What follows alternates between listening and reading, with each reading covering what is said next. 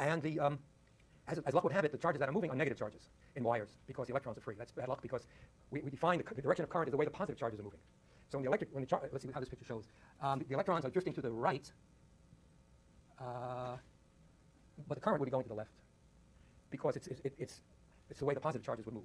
Okay, so that's just one of the inconveniences we have to live with. It's just, a, I think it was Benjamin Franklin decided, guessed on what type of charge was coming out of a certain experiment, and he, he picked positive for the something and negative for the other, and we're stuck with it somehow, 200 years later. Um, anyhow, the current is like a flow of water into a pipe, and if you have a fork in the pipe, the total amount coming out must equal total coming in. That's just conservation of charge.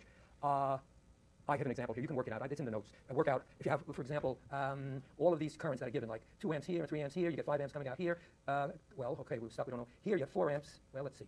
Uh, 1 amp coming out of here, 2 amps going over here. Must be 3 amps going over here, right? Because 3 amps split here. And we have 5 going in and 3 going out. There must be 2 going this way. Four going this way, two going that way. There must be six going this way, two going this way. With the density six, must be four coming out. Did, I get that wrong? Eight. Okay, that's how you do it. you play that game. You just got to follow and see who's going where. Uh, what did I get that wrong? Maybe three here. blah, blah, blah. Okay, you do it at home.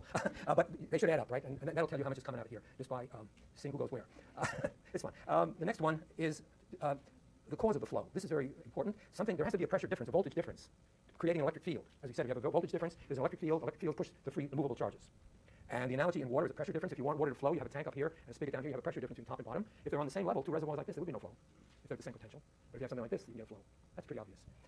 And then I uh, mentioned a few things. Um, sources, well, we have dr- battery, dry cells, the wet cells, power company. And then I forgot a very important one interesting to you guys in biology, the ion pumps in cell membranes. They create a voltage difference. How they do it beats me, but you, you probably understand it. But uh, somehow they can pump the ions against the gradient. You know, let's say there's uh, sodium and potassium. Uh, they're somehow able to grab, uh, say, um, potassium in this bath, which is at maybe low concentration, and pump them up here and against the, the, the fusion.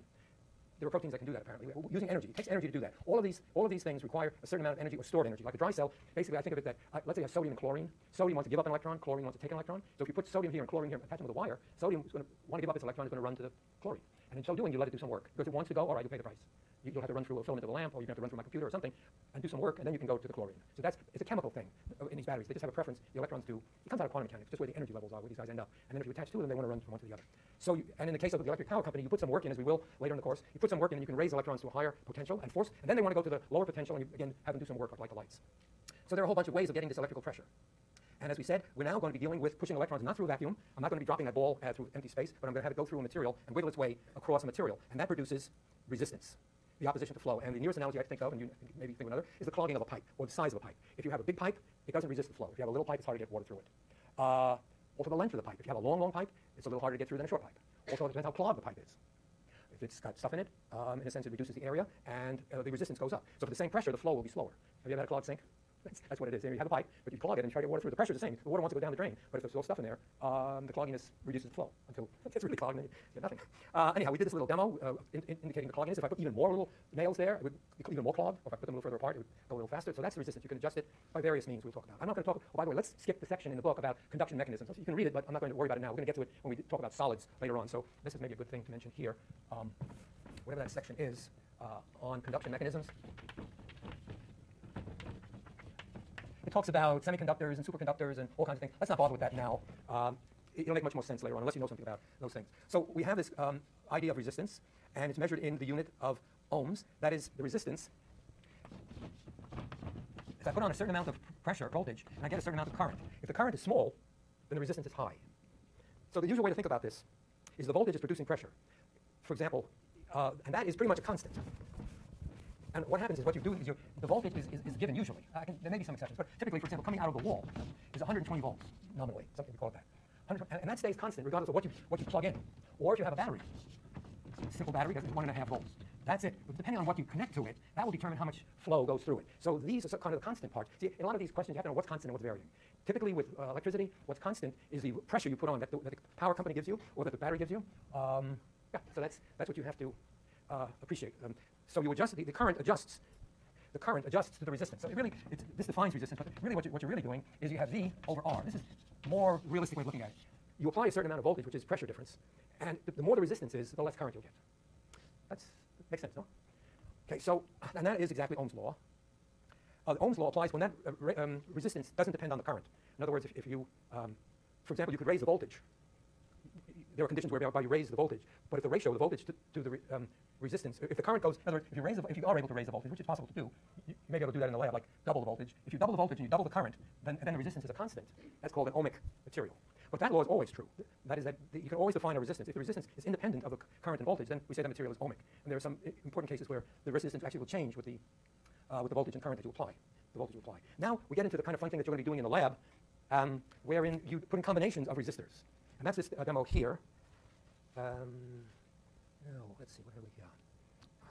Why, I don't know why this was closed. Let me turn on.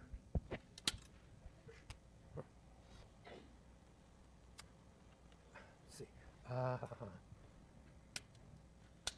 okay, now, let's see why. Should be seeing some. Oh, okay. Why? Oh, okay, okay. I see what's going on. Okay, yes. Okay, so what is it, what is this circuit? Um, here's a battery, and uh, it is providing voltage in here. Um, so there's a potential difference between, because of the battery, between these two points, meaning that negative charges want to go out of this thing and they want to go around the circuit and come back through here. So um, now I close the circuit. I put the battery in by closing the switch here, and you will see that current, hopefully, what's going on here? Didn't I just see current? Huh, what's going on?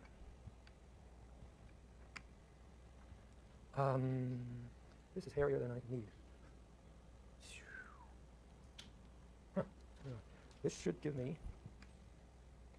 What's on here? very strange, very strange. Oh, uh, let's see. Why?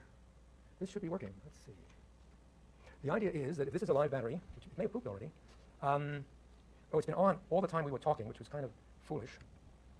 The point being, okay, let's just go through it in, in imaginary terms. Um, what, what, I'm trying to do here, here I'm, I'm trying to measure the, the, flow of current through here. Now, what I have here is uh, an ammeter. An ammeter, am is for amperes, it's a me measure of current. To measure the current, you have to put the ammeter in the line of the circuit because what you're trying to do is measure current, which is like water in a pipe. I have to put the meter right in the line of the pipe. So that's what this thing is supposed to be doing. Then the electrons coming out of here, see the current is going the other way, nominally, if this full battery was working. Uh, I don't know why it's not. Unless that, oh. I think maybe the battery's dead because we were watching, um, were, uh, it was on the whole time while I was talking. Uh, in any case, the current will go through here. It will flow through this resistor. By the way, these resistors look like, oh, this is just a wire right now. Okay, this is just a wire. Oh, that's indicated by this. Um, and I have other choices of resistors which look like this. Uh, in principle, let me, let me call um, let me call James and see if he can find out what happened here. Excuse me a second. James, hello. Uh, I think the battery's dead. Because we left it. I think we left it on the whole time. See if you can fix it. Okay, sorry. Okay, so the point, what I'm going to try to talk about is, see, there was a wire here, and this would allow current to flow very nicely. If I put this 3,000 ohm thing in here, it represents somewhat of a clogged pipe. So what we would have seen is the electric current decrease. Because if this battery had any life in it, it's putting out a certain amount of pressure. I, when I close this, I got nothing by way of current. Sorry, Jack. Oh, it's a. Did you need that? I don't think you need any of this. Well, it's something's from something. Oh, is that what it is? Why, Yeah. why, why do we have all those? Uh, well, that's putting two batteries in series with each other, and this Okay. is going out as leads the switch. Oh, okay. This is going to the circuit. Oh, okay. I, I didn't notice that. Okay, great. Okay, so let's, let's do that. Um, that's the current. So let me take this out. What will happen when I take it out? I open the circuit. The current can't get through. That should do what? Go to zero. Okay. Oh, Okay, now I put in this wire. I still have some resistance in the circuit. I wouldn't want to do that. Just with a wire, it's a very much easier path. I get a lot more current. Now, um, the, uh, this meter here is a voltmeter. It's measuring the pressure drop across things. Um, so when it's, uh, for example, this is the battery. In principle, I should be measuring the voltage of that battery, 12 volts. Or I could measure the voltage. Now, there's nothing else in the circuit but this resistor. So if I measure this one, what do you think I should measure? Same. Because all the, all the voltage that came out of this is used up in this resistor. There's nothing else. Okay? Um, yes. Okay, so now, again, we do this trick. I put this back. We open it up. We put this in here. I added, I added some resistance in, ser- in, this in series. So now the, the, the flow has to go through two clogged pipes. Makes things worse. Less current will flow. And indeed it does. Now, suppose, for example, I um, add another resistor, but I put it here. What will happen? What do you think is going to happen to the current? Up, down, sideways? How many say up? All right, how many say down? Aha, okay, it's about even, even choice. Okay, let's try. Okay, we put it in. So we're starting at about three and a half. Went to eight. Okay, well, this is a little tricky because I put this one in parallel. Think, think of the thing. Here I am, I'm water, I'm coming into this. I got one clogged pipe, I had another clogged pipe. They offer me another path. So more can flow because we can go through here. So you, when you put things in parallel, it's easier to go. One, one analogy is like somebody's leaving the room. If you have, if you have um, two doors you, you can get out more easily than one. If you have two doors in parallel. On the other hand, if you're in a corridor and there's a door and a door and a door, it's harder to get through. So things in series impede you. Things in parallel uh, uh, make it easier. Let me show you one other fun thing. Let me open this up. I, I don't have any time, but um, I wasted it with that um, thing. I wanted to show you while we're here, if you have a spare minute. Um, I- was going to go through a whole thing on how your house is wired. Your house is wired sort of like this uh, um, power strip. You- see the one wire white going like this, and then there's a black wire going this way? When you plug things in, you plug them in across the, across the wires, and you put them in parallel. In other words, there's a reason for that, and we- we'll go into it maybe next time. Because the power company gives you 120 volts. If you keep your appliances all in parallel, let's say your TV, your washing machine, your radio, if you put them in parallel, they all see 120 volts.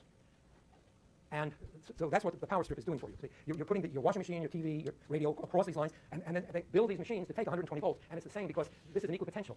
This, this is like that. Now, what you have to be careful though is that if you put on too many appliances, the wiring may not be strong enough to, hold, to carry all that thing. So you have to put in a fuse. So here's, here's the fuse. This one will work, or, or bad things will happen to me. Um, this, this is the amount of current. So suppose what this is, is a simple circuit. Uh, basically this. Uh, I have the voltage plus to minus going through a lamp, through a fuse. So I go something like this, through a lamp, and then I go through a fuse. This is that piece of wire here. Now the point of the fuse is that if the current gets too high, you want this to open up. And what could happen, for example, if, if somebody connects these two wires together with, a, with another with a wire, so this, this represents a resistance. If you put a, uh, just a wire across it, you have no resistance, and the current can go very, very high, and it can, it can catch the house on fire. So what you have is a fuse or a circuit breaker in, in your house, and many power supplies too. So basically, what I'm going to do to simulate that, I'm going to uh, put light the light, but then I'm going to pretend I short the bulb, so that I give a pass through here. The current then can run through there, and, and it dims the light because there's no, the current would much rather go through this, this shorting wire than go through the lamp. So the lamp will get dim, the current will go crazy because it can get through this shorted circuit. This is known as a short circuit. It's a bad thing to happen. Uh, and the light will get dim, the current will get very high, so high that I, hopefully this will burn up because you want it to. You want to open the circuit because you, you don't want this to continue too long because you, you want to stop this process of getting too hot. So let's try it. So here's a lamp, nicely, and the current is decent. It's like, um, it's on a 5 amp scale. Uh, one, it's about a third of an amp. Okay, now I'm going to short this out against advice from higher management. Okay, now the current goes crazy. But watch this guy. Yeah, that's a fuse blowing. Because you want, you, you see, and the current goes to zero, which you want, because you don't want, you don't want to current flowing through the wires in your house. Got it? Should I do it again? okay. Those who want to stay, I can do it again.